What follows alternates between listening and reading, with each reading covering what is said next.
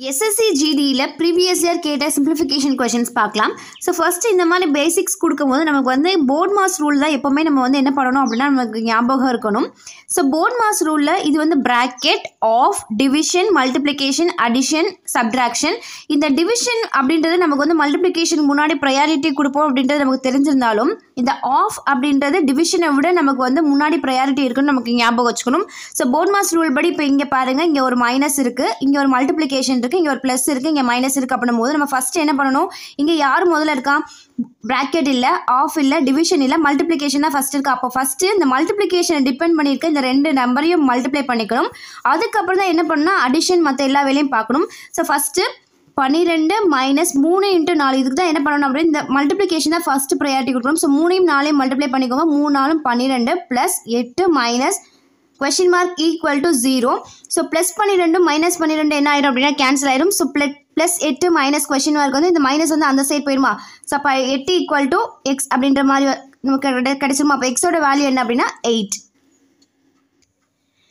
simplify 0.2 the whole power 3 into 400 division 200 of 0.2 the power 2 இந்த question பார்த்தா skip பண்ணிடாதீங்க. இந்த கொஷின் வந்து ரொம்ப ஈஸியான கொஷின் தான். ஸோ ஃபஸ்ட்டு வந்து இங்கேக்குள்ள டிவிஷன் இருக்குது ஆஃப் இருக்குது நம்ம என்ன சொன்னால் போர்ட் மாஸ் ரூல் படி வந்து ஃபஸ்ட்டு ப்ராக்கெட் ஆஃப் டிவிஷன் அப்படின்னு சொன்னோமா ஸோ டிவிஷனுக்கு முன்னாடி இப்போ ரெண்டு நம்பர் டிவிஷன் இருக்குன்னா இது ரெண்டு அதாவது நானூறு வந்து இரநூறால மட்டும் டிவைட் பண்ணக்கூடாது. ஆக்சுவலாக இந்த இது பக்கத்துலேயே இங்கே வந்து ஆஃப் இருக்கனால ஆஃப் இருந்தால் நமக்கு ஏதோ இந்த கொஸ்டினில் ஆஃப் இருக்குன்னு ஞாபகம் வச்சுக்கோங்க.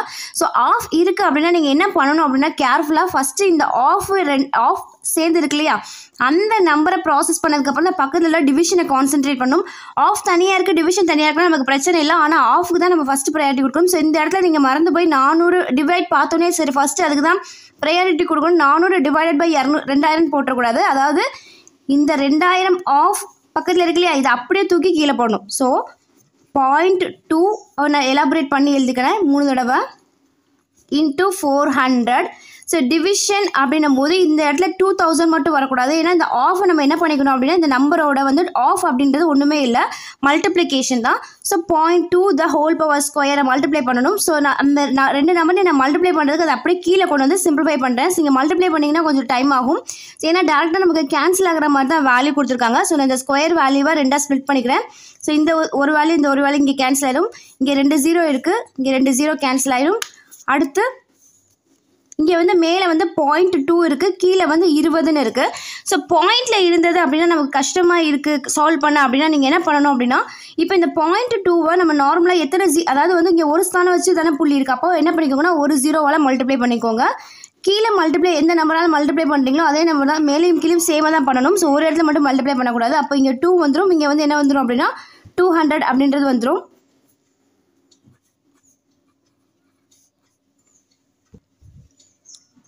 ஸோ இங்கே ஒரு நாலு அப்படின்ற ஒரு வேல்யூ இருக்குது இன்ட்டு நாலு. ஸோ நாலு பை நூறு அப்படின்றது என்ன அப்படின்னா one by twenty five so அடிச்சு கொடுக்கும்போது பக்கத்தில் உள்ள மல்டிப்ளிகேஷனை எந்த நம்பர் விட்டுருக்கோம் அப்படின்றது கவனமாக பார்த்துக்கோங்க ஒரு தடவை நம்ம பண்ணதுக்கு அப்புறமே டக்குன்னு வந்து என்ன பண்ணுங்க அப்படின்னா வெரிஃபை பண்ணுங்கள் ஸோ நம்ம கரெக்டாக பண்ணியிருக்கோமா அப்படின்றது.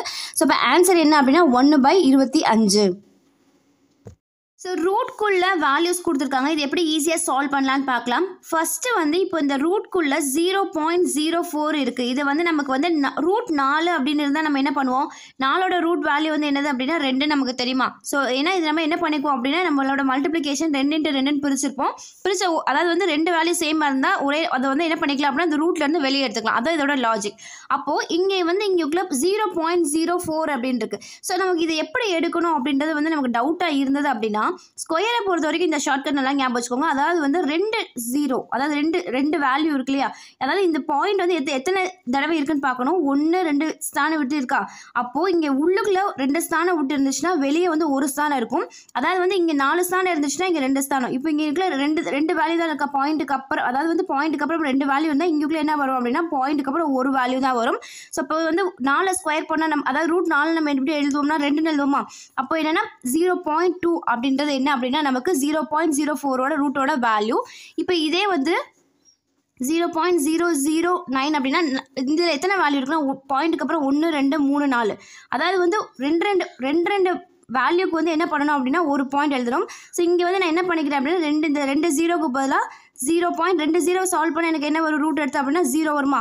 ஸோ ஜீரோ நைனை நமக்கு வந்து ரூட்டுக்குள்ளே எடுத்தோம் அப்படின்னா நமக்கு நார்மல் நைனை நீங்கள் எடுத்தீங்கன்னா உங்களுக்கு என்ன வரும் அப்படின்னா ரூட் த்ரீ இன்ட்டு ரூட் த்ரீன்னு பிடிப்பீங்களா ஸோ அப்போ அது வந்து உங்களுக்கு அது உங்களுக்கு நார்மல் த்ரீன்னு தெரியுமா? அதே மாதிரி இங்கே உள்ள என்ன இருக்குன்னா ரூட் அந்த ஜீரோ நைனுக்கு பதிலாக என்ன பண்ணிக்கணும் அப்படின்னா த்ரீ போட்டுக்கணும். அப்போது இந்த இதை சால்வ் பண்ணீங்க அப்படின்னா உங்களுக்கு என்ன வரும்னா zero point zero three so இப்போ இந்த கொஷின் சால்வ் பண்ணலாமா?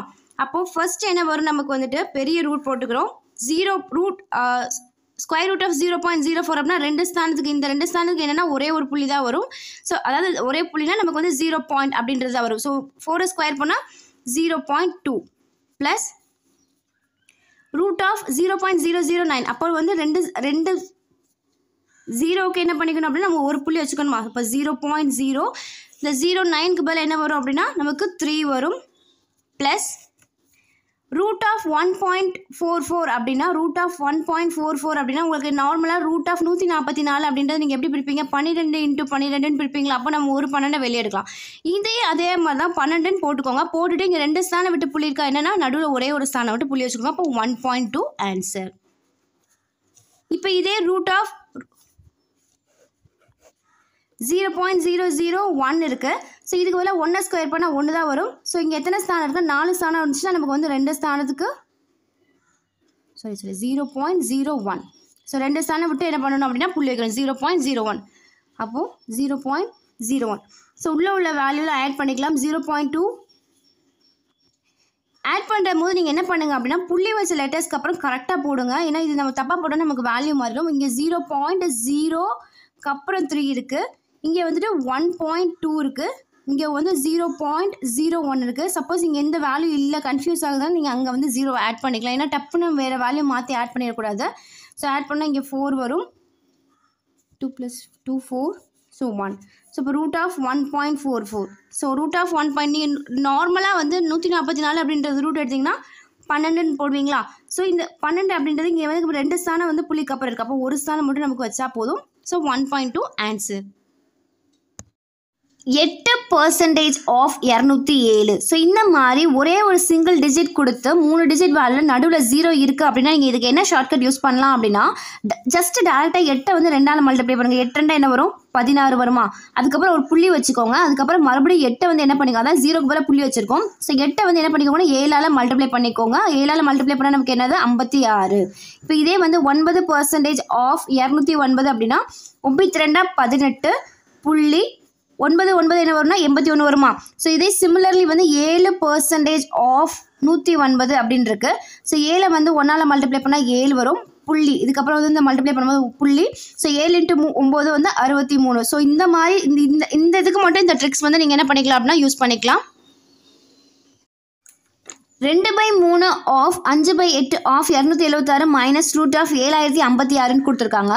ஸோ ஃபஸ்ட்டு இந்த ஆஃப் அப்படின்றது ஒன்றுமே இல்லை ஜஸ்ட் மல்டிப்ளிகேஷன் தான். இந்த கொடுத்துருக்க நம்பரை மல்டிப்ளிகேஷன் பண்ணணும். இப்போ இந்த ஆஃப் பக்கத்தில் ஒரு டிவிஷன் வந்தால் மட்டும் நம்ம என்ன பண்ணணும்? கேர்ஃபுல்லாக முதல்ல ஆஃபை பண்ணிவிட்டு அதுக்கப்புறம் டிவிஷன் பண்ணணும். ஸோ இங்கே நமக்கு ஆஃப் பக்கத்தில் டிவிஷன்லாம் இல்லை. ஸோ இப்போ நம்ம டேரெக்டாக ப்ரொசீட் பண்ணிடலாம். ரெண்டு பை மூணு இன்ட்டு அஞ்சு பை எட்டு இன்ட்டு இரநூத்தி எழுபத்தி ஆறு மைனஸ் ரூட் ஆஃப் ஏழாயிரத்தி ஐம்பத்தி ஆறு ஸோ ரூட் ஆஃப் ஏழாயிரத்தி ஐம்பத்தி ஐம்பத்தாறு எப்படி ஈஸியாக கண்டுபிடிக்கிறது அப்படின்னா ஃபஸ்ட்டு என்ன பண்ணிக்கோங்கன்னா ஸ்கொயரில் வந்து ரெண்டு டிஜிட் எடுத்துக்கோங்க. ஸோ ரெண்டு டிஜிட் எடுத்துகிட்டு இப்போ இந்த ஆறு அப்படின்னு முடியுது யூனிட் டிஜிட் பாருங்கள் ஸோ ஆறு அப்படின்னு முடியுதுன்னா அது கண்டிப்பாக அதோட எண்டிங் டிஜிட் வந்து என்னவாக இருக்கும் அப்படின்னா நாலு இல்லை ஆறாக இருக்கும். ஓகேவா ஸோ இப்போ இதுக்கப்புறம் இந்த ரெண்டு டிஜிட்டை விட்டுறணும். இதுக்கப்புறம் மிச்சம் இருக்கிற ரெண்டு டிஜிட் எடுத்துக்கணும். எழுபது இருக்கா? எழுபது அப்படின்றது நமக்கு ஸ்கொயர் ரூட்டில் எந்த வேல்யூவோ பக்கத்தில் இருக்குன்னு செக் பண்ணணும். ஸோ நமக்கு கண்டிப்பாக பத்து ஸ்கொயர் வரைக்கும் தெரிஞ்சிருக்கணும். ஏழு ஸ்கொயர் நாற்பத்தி ஒம்பது. எட்டு ஸ்கொயர் அறுபத்தி நாலு ஒன்பது ஸ்கொயர் எண்பத்தி ஒன்று பத்து ஸ்கொயர் வந்து நூறா. ஸோ அப்போது இந்த எழுபது அப்படின்ற வேல்யூ எட்டு ஸ்கொயருக்கும் ஒன்பது ஸ்கொயருக்கும் நடுவில் மிடில் தான் இருக்கும். அப்போ நம்ம என்ன பண்ணால் ஒம்பது ஸ்கொயர் எடுக்கக்கூடாது. எட்டு ஸ்கொயரோட வேல்யூ தான் வரும். ஸோ இந்த இடத்துல எட்டு அப்படின்ற வேல்யூ போட்டுக்கிறேன். அப்போ இந்த ஸ்கொயர் ரூட் எய்தர் எண்பத்தி நாலாக இருக்கும் அப்படின்னா எண்பத்தி ஆறாக இருக்கும். இது எப்படி நான் கரெக்டாக செக் பண்ணுறது அப்படின்னா இந்த மிடில் உள்ள எண்பத்தி அஞ்சு ஸ்கொயரை வச்சு நான் என்ன பண்ணணும் அப்படின்னா செக் பண்ணணும். கூட வரதா குறைய வரலாம் ஸோ எண்பத்தஞ்சு ஸ்கொயர் எப்படி செக் பண்ணுறது அப்படின்னா இந்த அஞ்சுன்னு முடியிற அந்த ஸ்கொயருக்கு வந்து எப்போவுமே அதோட கடைசி ரெண்டு டிஜிட் என்னவாக இருக்கும் அப்படின்னா இருபத்தி அஞ்சுன்னு இருக்கும். இதுக்கப்புறம் என்ன பண்ணணும்னா ரிமைனிங் இந்த எட்டுக்கு அப்புறம் என்ன நம்பர் வரும்? ஒன்பது அப்படின்னு வருமா? ஸோ ஒம்பத்தி எட்டா எழுபத்தி ரெண்டு. அப்போ எழு ஏழாயிரத்தி இரநூத்தி இருபத்தஞ்சு அப்படி தான் எண்பத்தஞ்சு ஸ்கொயரோட வேல்யூ ஸோ நல்லா ஞாபகம் வச்சுக்கோங்க. எண்பத்தஞ்சு ஸ்கொயர் அப்படின்றது என்ன அப்படின்னா அஞ்சு ஸ்கொயருக்கு எப்பவுமே இருபத்தஞ்சு முடியும். இந்த எட்டுக்கு அப்புறம் அடுத்த நம்பரை மல்டிப்ளை பண்ணும். ஸோ எழுபத்தி ரெண்டு ஸோ இப்போ வந்து நமக்கு என்ன கொடுத்துருக்காங்கன்னா ஏழாயிரத்தி ஐம்பத்தி ஆறு வந்து ஏழாயிரத்தி இரநூத்தி இருபத்தஞ்சோட அதிகமாக இருக்கா கம்மியாக இருக்கானா கம்மியாக தான் இருக்கு. அப்போது இது வந்து எண்பத்தஞ்சு ஸ்கொயரோட கூட போகாது. எண்பத்தி கம்மியாக தான் போகும். அப்போ நமக்கு என்ன வரும் அப்படின்னா இதை சால்வ் பண்ணால் நமக்கு என்ன வரும் அப்படின்னா எண்பத்தி நாலு அப்படின்ற ஆன்சர் வரும். ஸோ கொஷின் எழுதிக்குவோம் ரெண்டு பை மூணு இன்ட்டு அஞ்சு பை எட்டு இன்ட்டு இரநூத்தி எழுபத்தி ஆறு. ஸோ இந்த ஸ்கொயர் ரூட்டுக்கு பதிலாக நம்ம செஞ்சோம் சால்வ் பண்ணோம் அப்படின்னா நமக்கு என்ன வரும் அப்படின்னா எண்பத்தி நாலுன்னு வருமா? ஸோ எண்பத்தி நாலு இப்போ கேன்சல் பண்ணலாமா? ஸோ ஒரு one two sir two four two two sir இங்கே கேன்சல் ஆகும். த்ரீ வச்சு இங்கே கேன்சல் பண்ணலாம். ஒம்பது மூணா இருபத்தி ஏழு இருமூணு ஆறு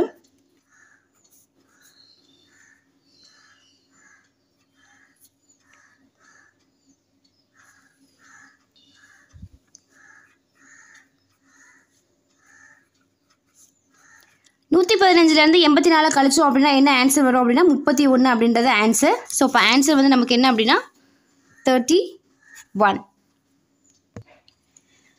Solve 7 cube minus 7 square plus 6 into 6 cube minus 2 cube minus 3 square plus 1 divided 21 square plus 20 square minus 41 இருக்கு. ஸோ இந்த இடத்துல ஏழு கியூப் மைனஸ் ஏழு ஸ்கொயர் அப்படின்னும்போது ஏழு பவர் ஒன்னு வரக்கூடாது. கியூபோட வேல்யூ வந்து ஏழு கியூபோட வேல்யூ முந்நூற்றி நாற்பத்தி மூணு. ஏழு ஸ்கொயரோட வேல்யூ நாற்பத்தி ஒம்பது ரெண்டையும் கழிக்கும் போது நமக்கு வேறு வேல்யூ வரும். பவரை வந்து இப்படி இருக்கும்போது மைனஸ் இருக்கும்போது டேரெக்டாக கழிக்கக்கூடாது. அப்படி ஒரு ரூல்ஸே கிடையாது நமக்கு.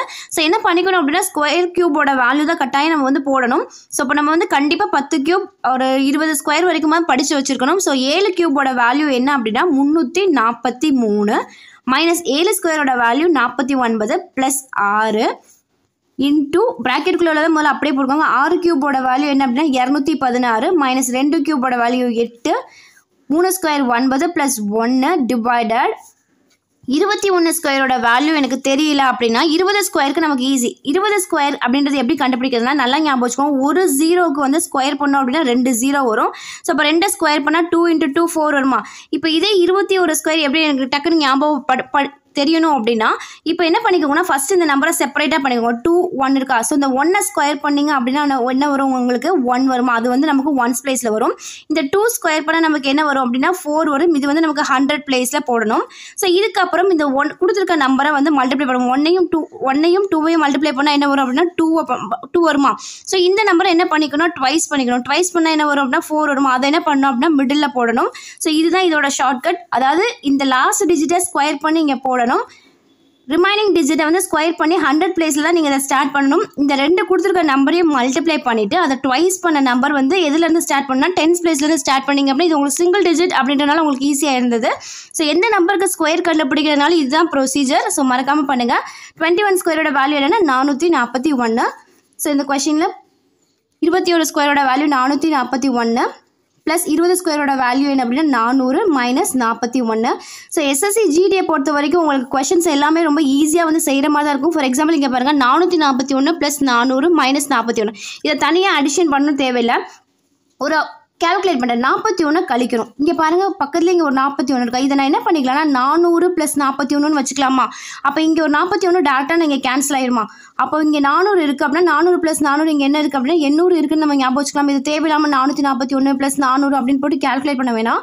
ஜஸ்ட் நமக்கு மைனஸ் பண்ணுற வேல்யூ உங்களுக்கு டேரெக்டாகவே இங்கேருந்து நீங்கள் கழிச்சு பழகுங்க. ஸோ ரொம்ப ஈஸியாக இருக்கும் உங்களுக்கு. சீக்கிரம் செஞ்சிடலாம். நமக்கு ஸ்பீட் வந்துடும் ஸோ இப்போ இங்கே பாருங்கள் மைனஸ் எட்டு மைனஸ் ஒன்பது இருக்குது ஸோ மைனஸ் எட்டு மைனஸ் ஒன்பது எட்டு ப்ளஸ் எட்டு ப்ளஸ் ஒன்பது என்ன வரும் அப்படின்னா பதினேழு வருமா? ஸோ இங்கே ஒர்க்கில் எனக்கு எனக்கு இருக்குன்னா பதினாறு இருக்கா? ஸோ பதினாறு அதாவது இந்த இங்கே இந்த ஒன்றில் நான் கூட இதை கேன்சல் பண்ணிக்கிட்டேன். எனக்கு எனக்கு எட்டு இருக்குமா? எட்டு ப்ளஸ் எட்டு வந்து எட்- அதாவது மைனஸ் எட்டு மைனஸ் எட்டு என்ன வரும்னா மைனஸ் பதினாறு வருமா? அப்போ இங்கே நான் ஒரு மைனஸ் பதினாறை கழிக்கணும் அப்படின்னா இந்த நம்பரும் கேன்சல் ஆயிருமா? ஸோ அப்போ டோட்டலாக இந்த டேர்ம் கேன்சல் இங்கே என்ன இருக்கும் அப்படின்னா எனக்கு இரநூறு இருக்குமா? ஸோ இது மாதிரி உங்களுக்கு கேன்சல் ஆகிற மாதிரி தான் கொடுத்துருப்பாங்க. இங்கே செக் பண்ணி பாருங்கள் நான் முந்நூறு ப்ளஸ் நாற்பத்தி மூணு நம்ம பிடிச்சிக்கலாம் இந்த வேல்யூவை இங்கே ப்ளஸ் ஆர் இருக்குது ஸோ டோட்டல் ஆட் பண்ணிங்கன்னா உங்களுக்கு நாற்பத்தி ஒம்பது இங்கே கேன்சல் ஆகும் இங்கே என்ன இருக்குது அப்படின்னா முந்நூறுன்ற வேல்யூ இருக்குது ஸோ இந்த மாதிரி தான் உங்களுக்கு மேக்ஸிமம் கொஷின் இருக்கும். பார்க்குறது தான் ரொம்ப டிஃபிகல்ட்டாக இருக்குமே தவிர சிம்பிளிஃபிகேஷனாக ஜஸ்ட் அட்டன் பண்ணி பாருங்கள் ரொம்ப ஈஸியாக தான் இருக்கும். ஸோ முந்நூறு இன்ட்டு இரநூறு டிவைடட் எண்ணூறு. ஸோ டிவைடட் அப்படின்னா நம்ம என்ன பண்ணிக்கணும் அப்படின்னா இந்த ரெண்டு நம்பரையும் முதல்ல ப்ராசஸ் பண்ணணும்.